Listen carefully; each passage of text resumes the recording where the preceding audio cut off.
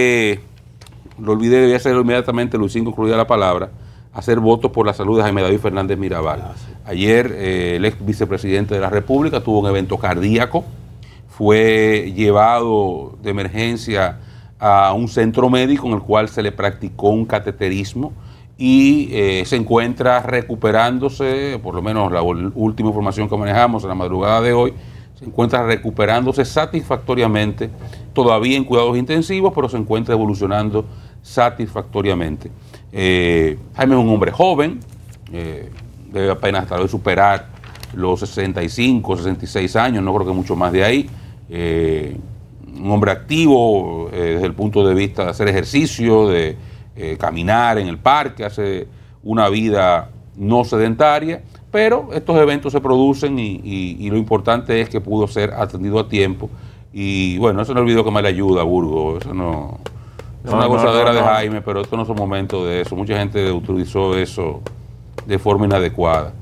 Eh, Jaime es un, buen hombre. Desde aquí hacemos votos para la recuperación pronta y completa de su salud. Quiero ahí eh, agregarme a eso. Yo eh, caramba, eh, había tenido la oportunidad de compartir información, de intercambiar con Jaime David a propósito del fallecimiento de Jaime Enrique, su hermano, uno de sus dos hermanos, los cuales ya los dos fallecieron.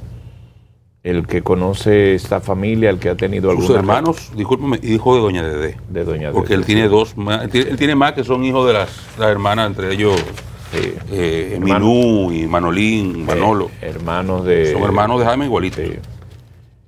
y evidentemente que Jaime, como era natural, estaba más que sentido porque esto de, Jaime Enrique le dio muy duro. No fue de sorpresa. Jaime Enrique venía un poco enfermo, hacía. no fue de, de, día para otro. Estaba en Miami. en el exterior fue, fue, un tratamiento y evidentemente esto a Jaime con una relación totalmente afectiva, como lo es Jaime David, eh, le, afectó. Pero sin embargo esto fue un tema de un cateterismo.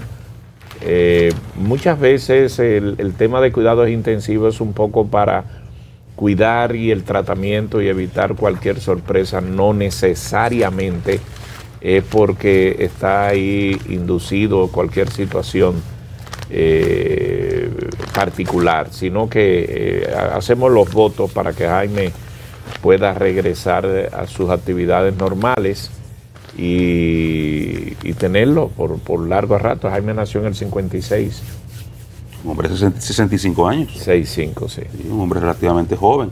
Que un buen apunte, Luis. El hecho de que esté en cuidado intensivo no quiere decir que está en una situación de gravedad o comatosa. Simplemente se establece un mecanismo, regularmente de hecho, cuando se producen este tipo de procedimiento cardiovascular como un cateterismo, que lo que busca es, eh, eh, desbloquear eh, arterias que han sido, que están, han, generado algún tipo de calcificación, regularmente las primeras horas de recuperación se hacen en una unidad de cuidados intensivos. Es un procedimiento prácticamente normal, aquí se hacen cientos diariamente posiblemente de ese tipo de procedimientos y tienen el mismo patrón. Claro, y lo digo porque aquí en este país ir a cuidado intensivo es sinónimo, ay, se, está muriendo. No, no, no, espérate. Eh, eso hay protocolo y hay forma y hay instituciones donde ese es el lugar por un tema de atención. Pero la, pronta recuperación de Jaime David Fernández Mirabal lo deseamos todos. Sí, es. Mira, ayer eh, la Cámara de Diputados